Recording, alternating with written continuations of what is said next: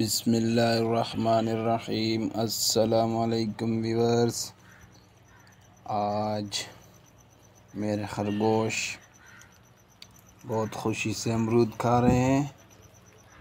ये आज कीमे वाले अमरूद खा रहे हैं। आपने सुना होगा कीमे वाला समोसा रोल, लेकिन आज आपने कीमे वाले अमरूद के बारे में भी सुन लिया होगा। ले, मेरे खरगोश बहुत खुशी से खा रहे हैं। इन दिनों ये इंसानों के खाने के लायक तो नहीं होते, लेकिन मेरे खरगोश बहुत खुशी से खा रहे हैं, माशाल्लाह। इसलिए मैंने बोला है खरगोश पालना कोई मुश्किल काम नहीं है। भी मौसम भी बदल चुका है।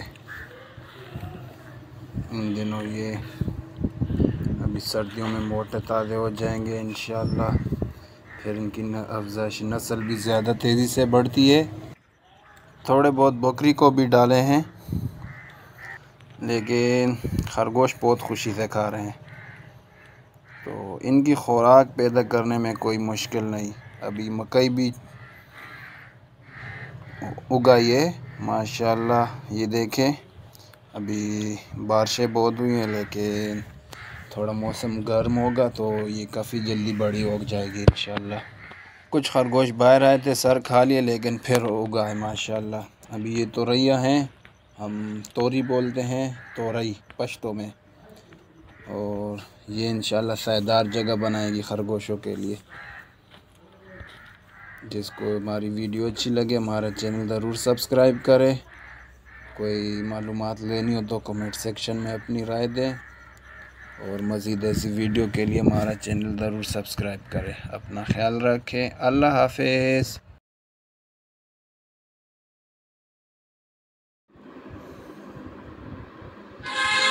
ऐसे मुल्क में रहते हैं जहाँ मस्जिद मदरसा करीब में मिलना मुश्किल है कि कुरान सीखा जाए। बच्चे छोटे हैं, बाहर भेजकर इत्मीनान नहीं रहता।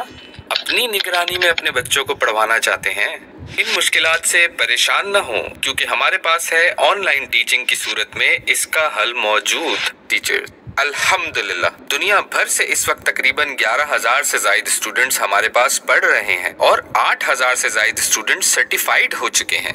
अगर आप भी ये सहूलत हासिल करना चाहते हैं तो किसी भी वक्त इस नंबर पर व्हाट्सएप या कॉल कीजिए। और हाँ दाखिले के लिए कोई शर्त नहीं।